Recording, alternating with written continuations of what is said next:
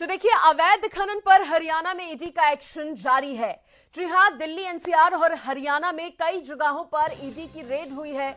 हरियाणा में करीब 20 जगहों पर ईडी का एक्शन देखने को मिला है। सोनीपत, यमुनानगर में ईडी की छापेमारी से हड़कंप मच गया है। कांग्रेस विधायक सुरेंद्र पवार के ठिकानों पर जाँच हो रही है। आईएनएलडी के पूर्व विधायक दिलबाग सिंह के घर भी छापा पड़ा है। कई अन्य लोगों के घरों में भी ईडी की पड़ताल जारी है। अवैध खनन से जुड़े मामलों में ईडी की ये बड़ी कार्रवाई जो है, वो मानी जा रही है। अवैध खनन से जुड़े जो भी मामले हैं, उन पर ईडी ने ये एक्शन लिया है और सख्ती से यहाँ पर कदम उठाती हुई ईडी जो है वो नज़र आई है। दिल्ली एनसीआर और हरियाणा में कई जगहों पर ईडी ने रेड की है। हरियाणा की अगर बात करें तो करीब 20 जगह ऐसी हैं जहाँ पर ईडी ने छापा मारा है। ईडी का एक्शन सामने आया है। 20 जगहों में सोनीपत, यमुनानगर भी शामिल है और ईडी की इस छापेमारी से हड़कंप भी मच गया है। कांग्रेस विधायक सुरेंद्र पवार के ठिकानों पर भी जाँच हो रही है, ऐसी जानकारी सामने आई है। कांग्रेस विधायक सुरेंद्र पवार के ठिकानों पर जाँच कर रही है, ईडी, आईएनएलडी के पूर्व विधायक हैं दिलबाग सिंह, उनके घर पर भी छापा पड़ा है। कई अन्य लोग हैं जिनके घरों में ईडी पड़ताल कर रही है, और देखिए, ये जो सारी जाँच हो रही है, वो अवैध खनन से जुड़े मामलों में की जा रही है। सोनीपत यमुनानगर से दो तस्वीरें सामने आई है। ईडी के जाँच के दौरान की ये तस्वीरें हैं। अवैध खनन से जुड़े मामलों में एक्शन लिया गया है, जहाँ कांग्रेस के विधायक सुरेंद्र पवार तो आईएनएलडी के पूर्व विधायक दिलबाग सिंह के घर पर भी हो रही है। ईडी की छापेमारी ये बड़ी दबिश जो है ईडी ने दी है, क्योंकि हरियाणा के करीब 20 जगह ऐसी हैं, ऐसे 20 ठिकाने जिन पर ये ईडी की जो छापेमारी है, जो एक्शन है, वो जारी है। तो बड़ी खबर इस वक्त की आपको बता रहे हैं, जब अवैध खनन के खिलाफ ईडी ने हल्ला बोल दिया है, ईडी यहाँ पर एक्शन में नज़र आ रही है और अवैध खनन से जुड़े मामलों पर रेड की जा रही है, छापेमारी हो रही है। सिर्फ़ बात अगर हरियाणा की करें तो अकेले हरियाणा में ही 20 जगहों पर ईडी ने रेड की है। अब क्या कुछ निकलकर सामने आता है और क्या तस्वीरें रहती हैं छापेमारी के बाद की, इस रेड के बाद की, देखने वाली बात होगी। फ़िलहाल जो बड़ी बात सामने आ रही है, वो ये है कि एक कांग्रेस के विधायक सुरेंद्र पवार तो आईएनएलडी के पूर्व विधायक दिलबाग सिंह के घर पर भी ये रेड जो है वो जारी है।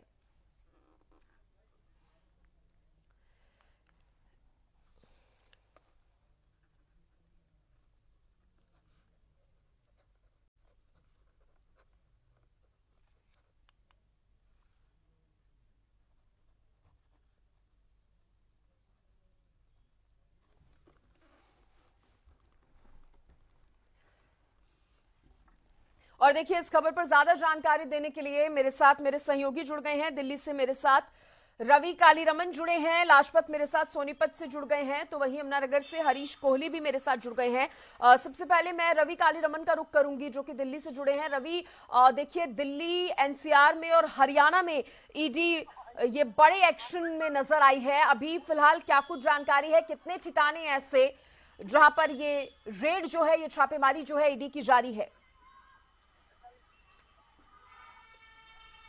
सृष्टि अगर बात की जाए तो ईडी की लगातार छापेमार कार्रवाई जो है वो जारी है। यमुनानगर की बात करें सोनीपत की बात करें या फिर दिल्ली एनसीआर की बात करें ऐसे 20 ठिकाने हैं जिनको लेकर कहीं ना कहीं छापेमारी जो है वो की जा रही है।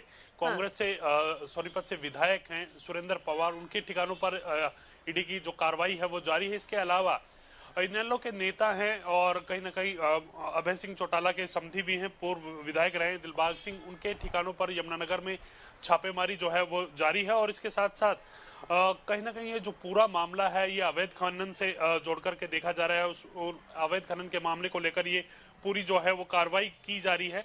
इसके अलावा अगर बात की जाए तो सुरेंद्र पवार के जो नजदीकी हैं, करीबी हैं, उनके घरों पर भी जो है ईडी की कार्रवाई जो है वो जारी है। और ऐसे में कहीं ना कहीं करीब 20 ऐसे ठिकाने हैं पूरे हरियाणा में जिनको, जिन पर ईडी की कार्रवाई जारी है और कहीं ना कहीं तमाम कागजात को खंगाला जा रहा है, खासकर अवैध खनन से जुड़े जितने भी दस्तावेज़ हैं उनको खंगाला जा रहा है। इसके अलावा कोई और फंडिंग कहीं से इधर से उधर हो रखी है तो उसको खंगाला जा रहा है। प्रॉपर्टी कितनी है? कहीं ना कहीं उसको भी देखा जा रहा है तमाम दस्तावेज़ वो है वो खंगाले जा रहे हैं। देखना होगा हाँ। कितनी लंबी ये रेड जो है वो चलती है हम्म। लेकिन बड़ी कार्रवाई जो है ईडी की देखने को मिल रही है। जी। चले लाजपत आप बताइए क्योंकि अब सोनीपत में भी हो रहा है एक्शन ये जो है वो लिया गया है यमुनानगर में भी एक्शन जारी है। तो अभी तक क्या कुछ सामने निकल कर आया है इस रेड में और कब से ये जो छापेमारी है ये जो रेड है वो जारी है?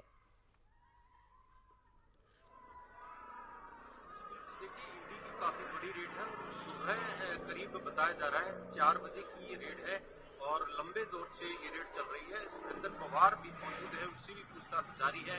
कागजों को खंगाला जा रहा है जो खनन से जुड़े हुए मामले हैं उनको खंगाला जा रहा है प्रॉपर्टी को खंगाला जा रहा है। अनेक जो ज- इनसे जो जुड़े हुए हैं सुरेंद्र पवार जो कांग्रेस पार्टी से विधायक है सोनीपत से उनसे हाँ। जो भी व्यक्ति जुड़े हुए हैं उनसे भी पूछताछ जारी है। तो ये कहीं ना कहीं काफ़ी बड़ा एक मामला देखने को मिल रहा है कि जैसे क्योंकि अभी चुनाव भी नज़दीक है चुनाव के नज़दीक और विपक्ष के नेता को ईडी की रेड काफ़ी बड़ी बात खुलकर सामने आ सकती है लेकिन अभी जल्दबाजी होगी कि इसमें क्या बात खुलकर आए।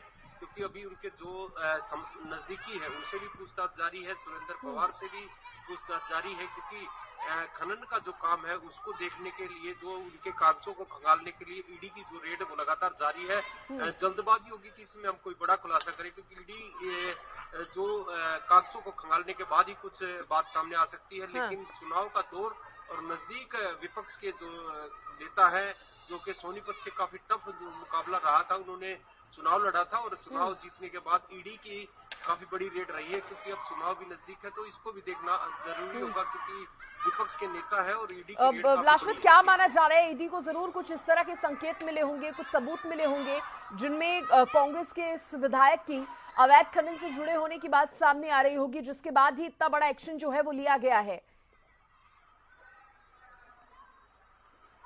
जी बिल्कुल ईडी देखिए ऐसे नहीं पहुँचती है। ईडी के पास कुछ ना कुछ ज़रूर ऐसे सुराग होंगे जो वो पहुँचे हैं और कोई ना कोई ऐसा मामला ज़रूर खुलकर आ सकता है क्योंकि ईडी जो है वो छोटा विभाग नहीं है काफ़ी बड़ा विभाग है जिस पर पूरे देश की नज़रें रहती है क्योंकि ईडी जब भी जहाँ भी पहुँचती है छापे मारती है वहाँ पर कुछ ना कुछ ज़रूर निकल कर आता है।